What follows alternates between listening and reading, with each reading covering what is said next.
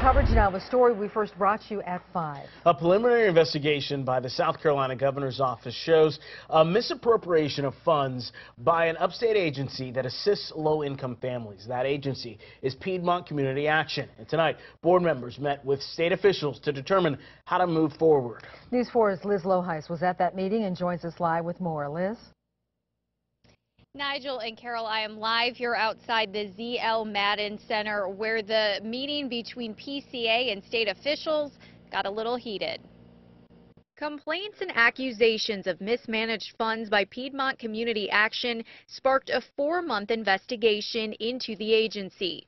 Tonight, the preliminary findings were shared. Several officials from different departments at the governor's office met with PCA board members to explain the severity of the accusations. Some of the work that's been done on these houses is shoddy, some people are left worse off than when the people came in. PCA offers a weatherization assistance program to help low-income families get insulation, new windows, and even new heating and air units for free. After several complaints of mismanaged funds, the South Carolina Governor's Office of Economic Opportunity was asked to investigate. They looked at 67 of the 670 homes that were weatherized, and according to the report, the majority of the work was either unfinished or left in worse condition. So the question is, where did the money that was supposed to be used for that work go? If PCA can't give state officials an answer, they could owe up to $3 million. This, this report is not etched in stone. This is But not- it, it, it this is, not- it is, Ms. Miller. We, we have the media sitting here because they think we've done something terribly wrong. It is, it is.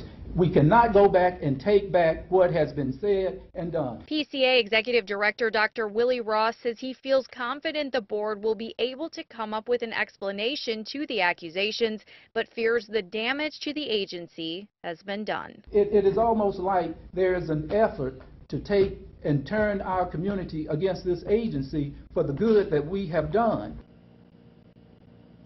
Now, PCA has 15 days to present an action plan to the governor's office that lays out where they went wrong and how they could fix it. But again, they could owe up to $3 million. Liz Lohuis, WYFF News 4, live in Spartanburg.